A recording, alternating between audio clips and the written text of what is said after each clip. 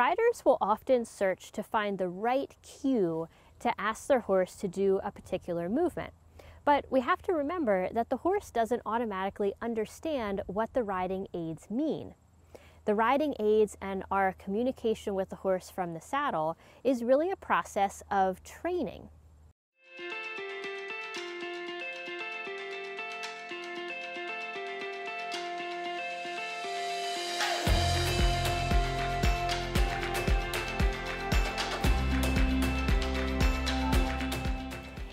The following clip, Angelo Telatin, PhD of equine behavior, is going to explain how horses learn what the riding aids mean and how to teach your horse to have and to maintain good self-carriage and movement. There are no predisposed behaviors attached to any of your aids, okay? Contrary of what a lot of people say, think, and they'll say do this and you get that do that and you get that. Okay so having said that so what what what what is in reality paramount and what is happening is operant conditioning sequence. You start applying a pressure with your hands and your leg and once you feel that you have the right behavior you just soften your pressure you can literally, instead of even at one point when your horses knows you and they're well trained, you don't need even to release, you just tense and relax. They'll feel the relaxation moment and they'll stay self-carriage. They'll stay and repeat that movement, even if you don't drop it, okay? So that's the most important thing. And you can untense your body and reward a little steps and then of, of the your final goal and then say and then tense right after and say a little more thank you, a little more thank you. So you can literally tense with this sequence, tension release, tension release, tension release, tension release while you are riding. It doesn't have to be tension, release. Tension, release. Because sometimes on release, they throw in one, two, three behavior. Okay. And then when you put tension, which of the three are they going to repeat? You don't know it.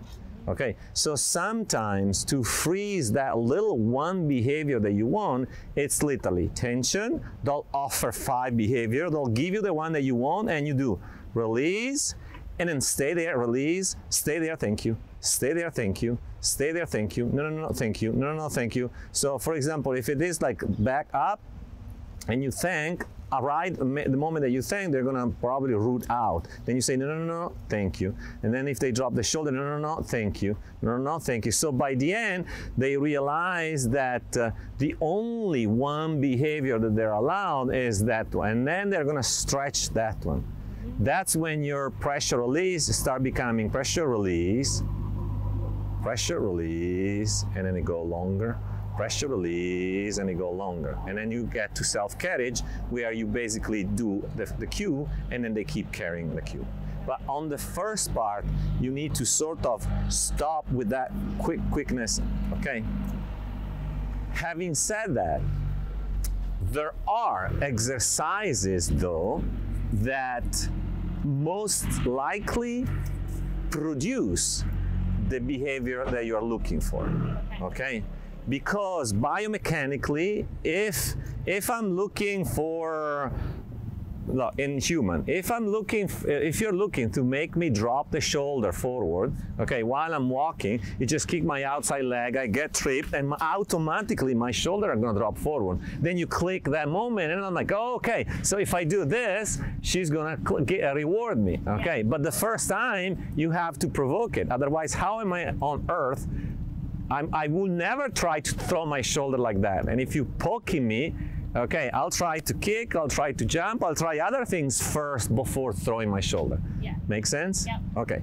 So what we are rewarding is the final picture is the neck extend forward, opening the base of the neck. Okay. Okay. Stretch out.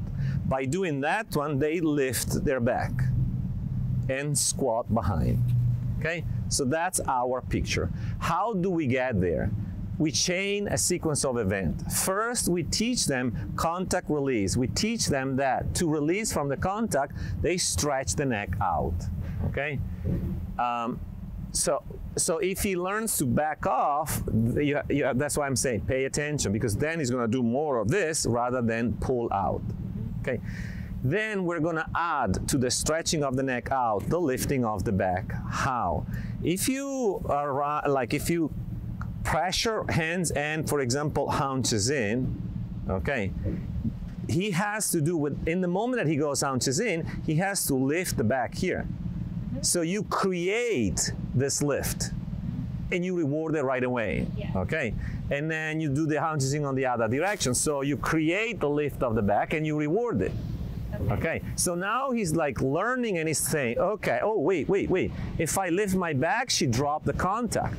Okay. So the next time that you hold your hand and apply pressure with your sit bones, he's, he might try to do this instead of backing off your hand. Okay. okay. If he backs off your hands, don't release. Enter the circle. So in the circle, most likely he steps under and then again lift the back. Okay. Yeah. So now you are rewarding in multiple scenarios the lifting of the back. Angelo Telatin teaches a course here called Building the Show Jumper. This course is great whether you want your horse to just be able to safely and confidently jump across rail, or if you're a competitive rider and you go around big courses and you really want to prepare your next horse or take your current horse to the next level or solve a particular problem. So we're offering a special on building the show jumper right now, just for a short time since we're putting this video out from Angelo, and you can get all the details down below.